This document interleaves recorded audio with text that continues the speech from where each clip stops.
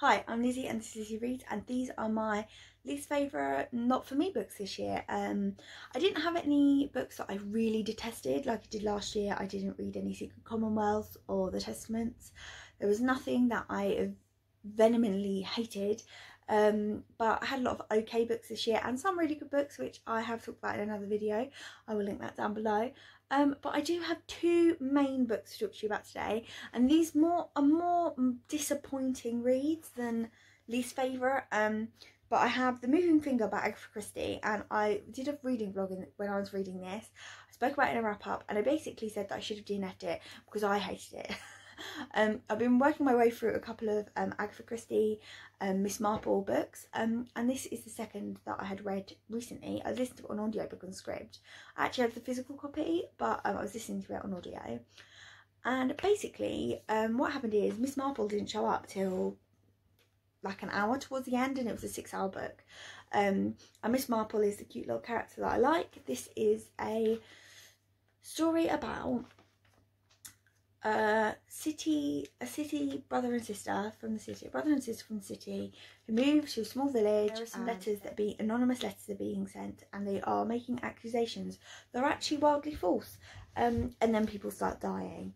Um, the problem is i didn't care about the main character. The narrator the narrator this man from the london first of all he was a nonce because he started fancying some 17 year old girl 18 year old girl and he's like 50 year old man.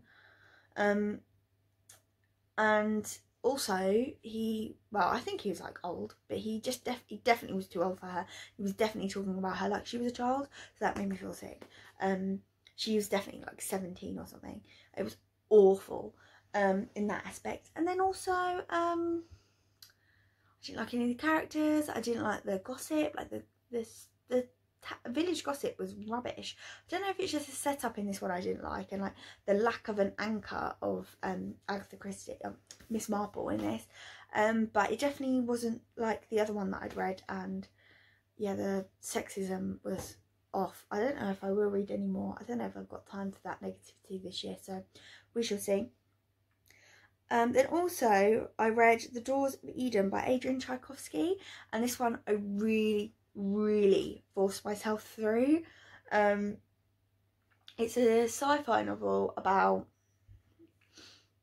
It's not. I thought it was rubbish. It's just that I didn't get it, and I was a bit bored. and I wasn't following the story very well, but I kept hoping that it would get better, and it never did.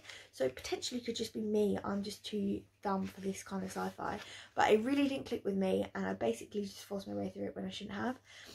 That's not to say that the any other um, sci-fi fan or even normal reader who do, who hasn't read any sci-fi wouldn't like it but I just was I was not vibing with that book. I think I did have three books this year so I'm just going to quickly talk about those. This isn't going to be a long video because I don't have any rant reviews to say but I did recently DNF Winter Magic by Amy and um, this is just a short story collection of winter like um, middle grade childhood stories that I just didn't connect with. I read a couple that I really enjoyed. I read a couple that were just, I just wasn't in the mood for them. So I put them down. I don't know if I will pick this back up. Um, I have the potential to because it is on but I won't, I'm not seeking it out to pick up. I've also got an anonymous, an, an anonymous girl by Sarah Pekkanen and Greer Hendricks. I have had this thriller on my TBR for a really long time, um, maybe like a year or so. Um, and it's one I've wanted to re read since I had that um, and it is about a makeup artist in the city, in New York City, who has the opportunity to take part in a study. And this study gets um, quite close and personal with morality, questions of morality and things like that. And basically it gets to a point where she gets to start to ask really personal questions.